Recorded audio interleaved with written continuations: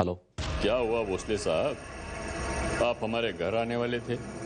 हां भाईजान ते थोडंसं कामाच्या व्यापात मला जमलं नाही. माफ करा. आता तुम्हाला कामावर जरा जादाच लक्ष द्यावं लागणार आहे. का? कारण वरुण सुभेदार आपल्या विरोधात उभा राहिलाय.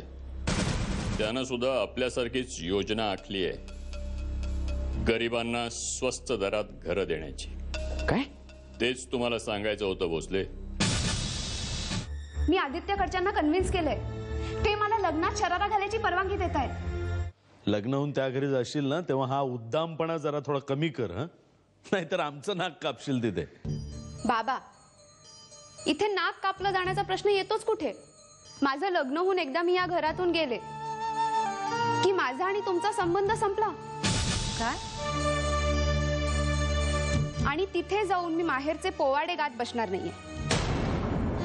त्यामुळे त्यांच्याशी जुळवून घेण्याचा मी शक्य तितका प्रयत्न करीन. जमलं तर ठीक आहे. नाहीतर नाहीतर काय? नाहीतर दुसरं लग्न करून मोकळी होईल. काय? अरे देवा. मॉलचं काम पूर्ण व्हावं हे ज्यांना वाटत होतं तेच आता या जगात नाही असो. मॉल पूर्ण होतोय हे महत्वाचं आहे.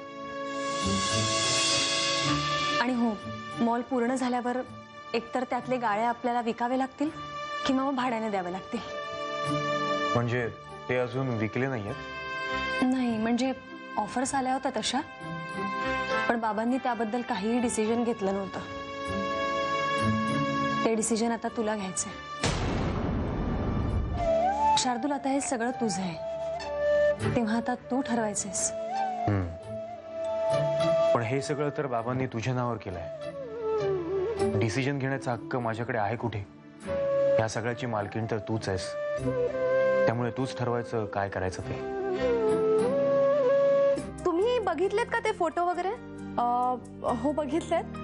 पण जरा प्रत्यक्ष जर पाहिले असते तर चालेल ना? मग नागपूरला एक छोटस दुकान आहे. तिकडे असेच चांगले चांगले शरारे मिळतात. मग आपण जाऊयात का ते बघायला? नागपूरला? हो. ऍक्च्युली ते काय आहे ना चंद्रपुरात एवढी व्हरायटी नाहीये आणि क्वालिटी पण नाहीये. नागपूरला दोन्ही मिळेल. आसावरी कशी आहे?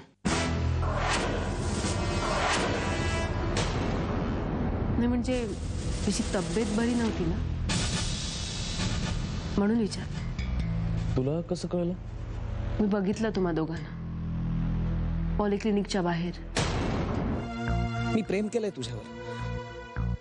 तू मला अशी अर्ध्यावर सोडून नाही जाऊ शकत. इथून पुढे जरी तू तुझा मार्ग वेगळा केला असलास तरी मी मात्र पदोपदी तुझ्या मार्गात आडवा येत राहील मला कळलंय की तू मला सोडून दुसऱ्या कोणाशी तरी सूत जमवलंयस.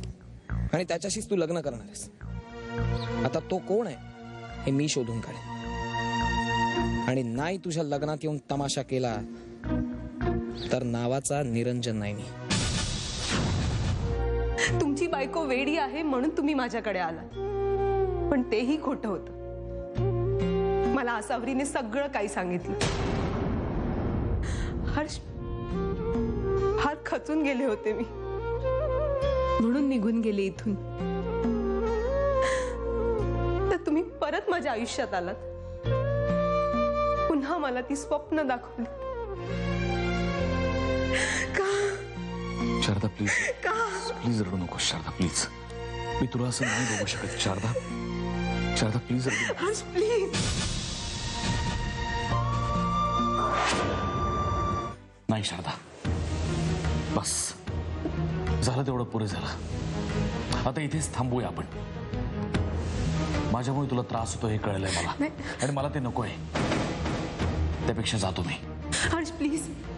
तुम्ही गेल्यावर पण मला त्रास होणार नाही असं वाटतंय का तुम्हाला? त्रास तर मलाही होणार आहे. पण तो सहन करू आपण. पण माझ्यामुळे तू तुझ्या जीवाचं पुन्हा काही बरं वाईट करून घेतलंस तर मला ते सहन होणार नाही. हर्ष मी नाही. त्याला गेलं विसरून जा. जमल्यास माफ़ कर मला. हर्ष